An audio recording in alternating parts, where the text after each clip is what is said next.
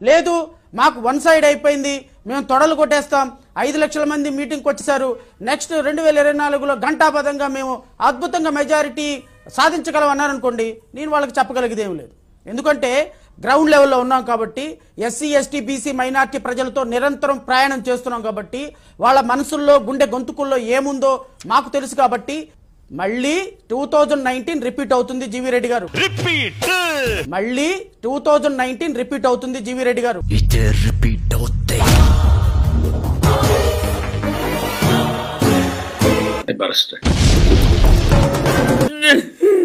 no I'm I'm not I'm not at all endorsing me party అధికారికంగా ఏదైతే war one side అవుతుందో one side అవుతుంది కదా?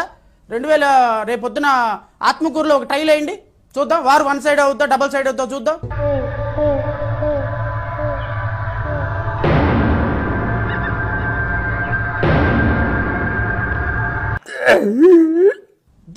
ఈ స్టేట్మెంట్లు మీ పార్టీని ఉత్తేజపరచుకోవడానికి బాగుంటాయి. కానీ రేపు ఆత్మకూరులో ఒక ప్రయత్నం చేయండి. ఇప్పుడు అన్నారు కదా ఐదు లక్షల మంది వచ్చారు ముప్పై వేల మంది పెడితే ఐదు లక్షల మంది వచ్చారని. వాట్ విల్ హ్యాపెన్ నాశనం అయిపోతారే రే అడుక్కు తినిపోతావు సంక నాకిపోతావు గ్యారంటీ ఈరోజు సజ్జల రామకృష్ణారెడ్డి గారు డైరెక్ట్గా ఛాలెంజ్ చేశారు. మీ దగ్గర ఇరవై మూడు మంది ఎమ్మెల్యేలు ఉన్నారు ఒక నలుగురు ఎమ్మెల్యేలు రిజైన్ చేసి రండి. లేకపోతే ఒక పది మంది ఎమ్మెల్యేలు రిజైన్ చేసి రండి. వారు వన్ సైడ్ అవుతా డబుల్ సైడ్ అవుతా చూద్దాం.